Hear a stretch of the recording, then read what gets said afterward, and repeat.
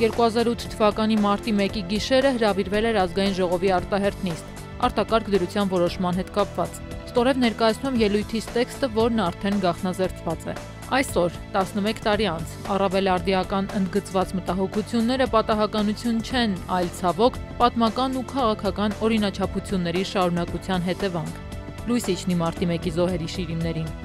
Հարգելի գործընկերներ, Շատ վատ եմ զգում ինձ այս բեմում, ոչ միայն նրա համար, որ հայտնվել եմ այստեղ ազգային ժողովին ոչ վայել զգեստով, ոչ վայել տեսքով, արտակարգ իրավիճակ է, այլ նրա համար, որ կատարվեց այն, ինչի մասին խոսում էին բոլորը, ինչի մասին կանխատեսում, զգուշացնում էին բոլորը։ Բայց դա այնուամենայնիվ կատարվեց։ Դժվար է խոսել այն դեպքում, երբ ստիպված ես ընտրել չարյած փոքրագույնը։ Իրականում այս ամենին օրինաչափորեն տանում էին համապատասխան ուժերը։ Ես լսում եմ ամբիոնից իմ գործընկերներից ոմանց, որոնք հիմա կոչ են անում հանդուրժողականության, սիրո, հարգելի պարոնայք։ Դուքի տարբերություն մեզ հնարավորություն ունեիք այդ ոճով խոսել օպերայի հարթակից, բայց ես հիշում եմ ձեր ելույթը, անուն չեմ տալիս։ Հիշում եմ ձեր ելույթը, որը բացարձակապես կապ չուներ անհանդուրժողականության, սիրո, քաղաքական երկխոսության հետ։ Ինչու այդ ժամանակ չէիք խոսում այդ ամենի մասին այնտեղ։ Ինչու չէիք խոսում այդ ժամանակ Ինչու ձեր ասուլիսների եւ հարցազրույցների մեջ բացարձակ այլ գաղափարներ էիք քարոզում։ Ինչու։ Իսեր Աստծո,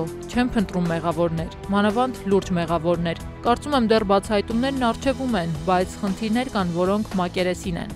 Հանկարծ թյուր տպավորություն չստեղծվի, որ այս արտակարգ դրությունը մցվում է կոնկրետ ինչ-որ մարդու եւ իր թիմակիցների դեմ։ Եկեք բարձրաձայնենք այն, ինչ բոլորս գոնե հոգում, սրտում գիտենք։ Սա այդ մարդու սրտով է, Սա այն է, ինչին այդ մարդը գնում էր։ Սա այն է, ինչը ծրագրավորված էր։ Սա այն է, ինչն ակնհայտ էր հոկտեմբերի 16-ից։ Սա այդ է, սա նորություն չէ։ Սա այդ մարդու սրտով է։ Սա այդ մարդու սրտով է տեսնել։ Իդեպ, եւ իր պատվիրատուների, ապակայունացված Հայաստան, իրար հոշոտող Հայաստանի քաղաքացիներ, այն իրավիճակը, որ մենք այսօր ունենք։ Դա այդ մարդու սրտով է ցավոք, բայց ես պատրաստ եմ կողմ դնել իմ սուբյեկտիվ վերաբերմունքը իր եւ իր թիմի նկատմամբ։ Եվ գուցե խնդրենք իրեն, Չէ որ այդ մարդիկ, որոնք հիմա Երևանի կենտրոնում անում են այն, ինչ բոլորս ընդմիջման նասեկոսեներով եւ հերախոսազանգերով փորձում էինք ողրել, կներեք բառիս համար, եւ այդ մարդիկ թողներեն։ Աճեցրած ու վարժված մարդիկ են։ Գուցե ինքը կարողանա վերջապես թափվել եւ հասկանալ, որ ինքը պատասխանատու է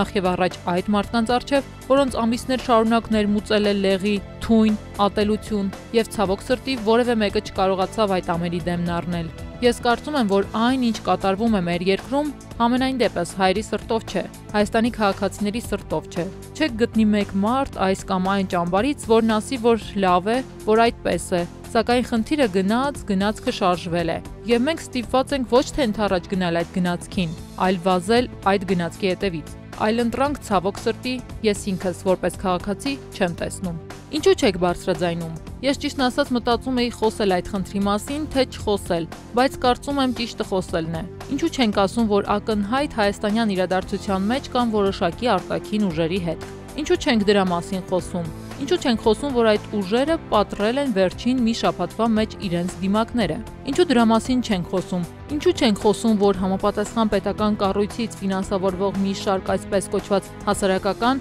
այսպես կոչված հայաստանյան կազմակերպություններ ինչ որ անհասկանալի քաղաքական շեշտադրումներով նամակ են անում միջազգային տրանսնացիոնալ հասարակական կազմակերպություններ։ Որտեղից է գալիս Սորոսի, Transparency International-ի, իրենց կողմից ֆինանսավորվող բազմաթիվ ՀԿ-ների, այսպես ասած, պոչը, ականջները ում են երևում։ Ինչու դրա մասին չենք խոսել այսքան ժամանակ։ Ինչու չենք խոսում այն մասին, որ գաղտնիք չէ որևէ մեկիդ համար, որ այն թիմում աշխատում են արտասահմանյան քաղաքական տեխնոլոգներ։ Ինչու չենք խոսում, որ մեր ժողովուրդը դարձել է ինչ որ մեկի համար փորձադարձ քաղաքական տեխնոլոգիաների կիրառման, կներեք բառիս համար զոմբիացման, ինֆորմացիոն եւ այլ տեսակի տոտալիտար վերահսկման։ Ինչու չի խոսվում դրա մասին։ Ինչու չենք փորձել ժամանակին կանխել այս մարդկանց մուտքը։ Ինչու չենք փորձել հետո, երբ իրենք եկել են, փորձել բացահայտել այդ ապօրինությունները եւ վտարել Հայաստանից։ Ես կարծում եմ, որ կարելի էր անգամ մտածել որոշ DIP միսիաների ներկայացուցիչներին persona non grata կարգավիճակը տալու համար։ Դա ակնհայտ է։ Դա ակնհայտ է, որ Հայաստանում մեծերը խաղ են խաղում մեր հաշվին,